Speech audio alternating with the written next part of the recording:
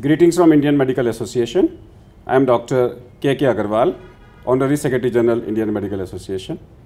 And with me is Dr. Krishna Ganapathy, who is the President, Apollo Telemedicine Network Foundation. This is a part of IMA Leadership Lecture Series. And today's discussion is on telemedicine.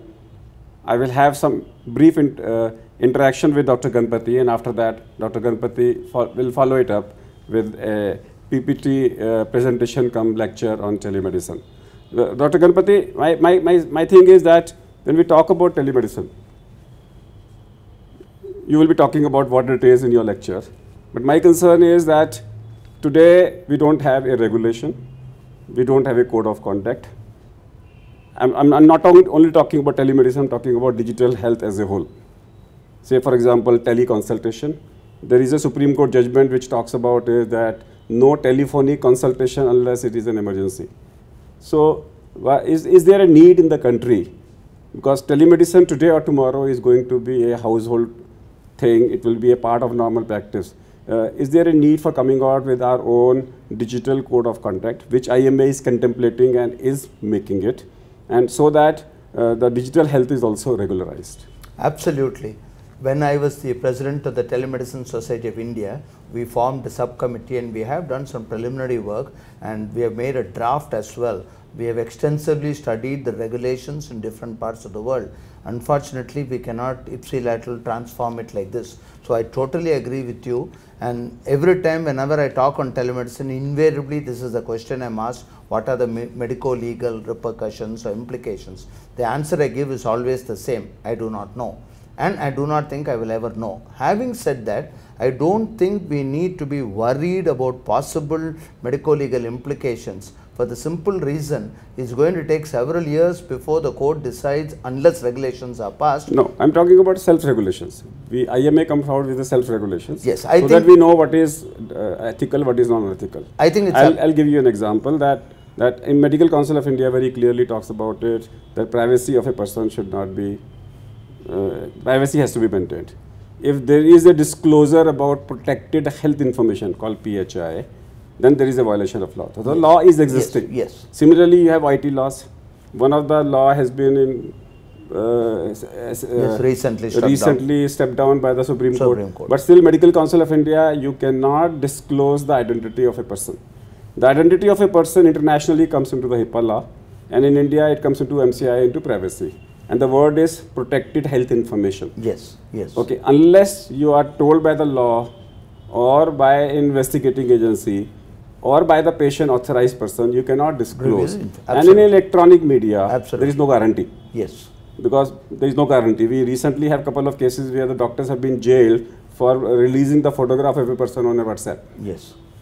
So, so don't you think that that telemedicine uh, requires clear-cut guidelines which IMA is working on to, to, to have so that now today uh, everybody is coming out with a portal.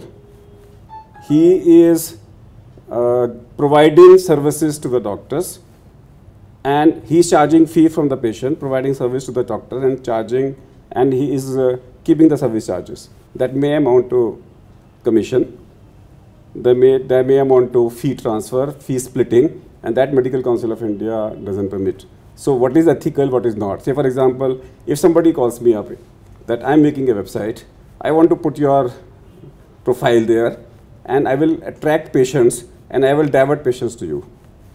Okay, is that allowed? Is fee, if, if I pay for my service charges to them, I do pay to the hospitals, to them, is it allowed? Even I may not have such answer. Therefore, before courts decides let's come out with a code of conduct, which is a self code of conduct, so that we know what we define what is ethical and what is not unethical instead of waiting for the Supreme Court to decide what is ethical and what is not ethical. Absolutely. I'm delighted that the IMA is taking these proactive measures.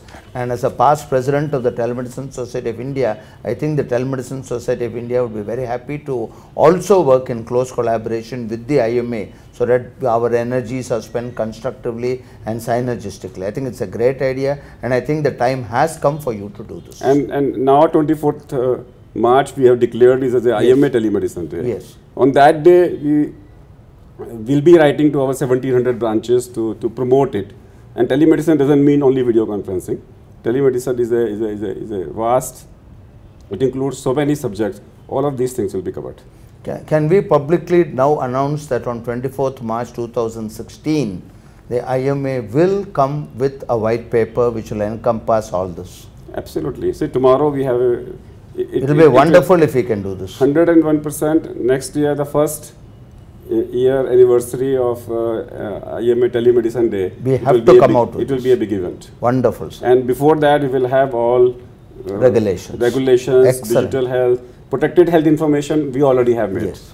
Digital health draft we already have made. We already have made a social media uh, code of conduct. We already have, have drafts. These drafts now are being circulated for opinion so that it becomes a IMA policy. To that. That will be wonderful. So, so that's what IMA is doing, and let's now listen to Dr. K. Ganapathy, what he has to uh, say scientifically all about telemedicine.